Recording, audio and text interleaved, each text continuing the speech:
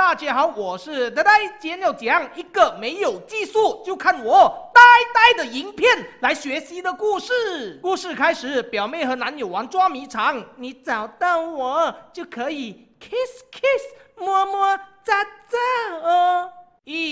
三四五六七八，四十五十六十。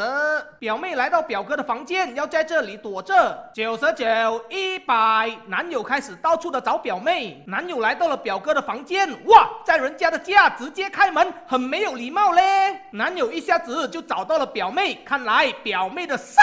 味真的很重嘞！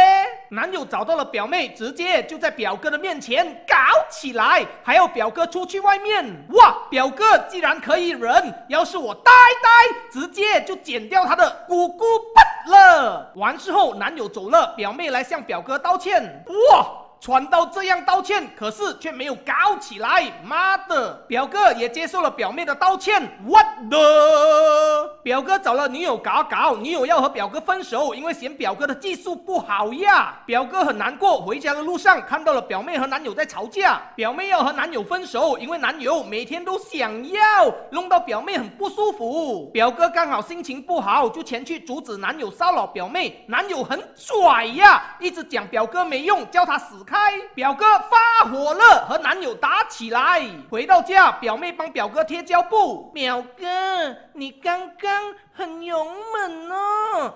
当然，我可是有念过呆呆的淫乱拳法的。表哥累了，回房间休息。表妹想起了刚刚表哥为她出气那帅气的样子。她带着她的屁股蛋上楼，她来到了表哥的房间。哇，表哥在看着我呆呆的影片，学着淫乱棒法呀！阿邦，阿爸，you boy，you 不跟 other girlfriend 吗？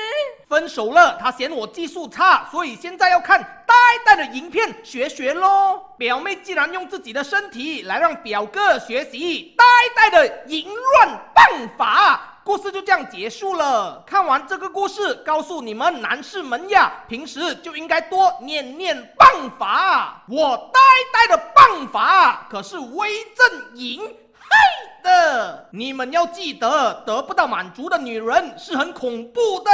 所以想要棒法可以变厉害，记得看我呆呆的影片学习学习吧。好了，今天的故事到此为止，请大家按赞、分享和订阅这个频道，点开订阅旁的小铃铛，以获得最新影片的通知。我是呆呆淫乱棒棒门派的第一代掌门人，其中一招就是流水港塞拳。中了我这招，绝对给你从鲍鱼流水流到肛门去的。我们下次再见，拜拜。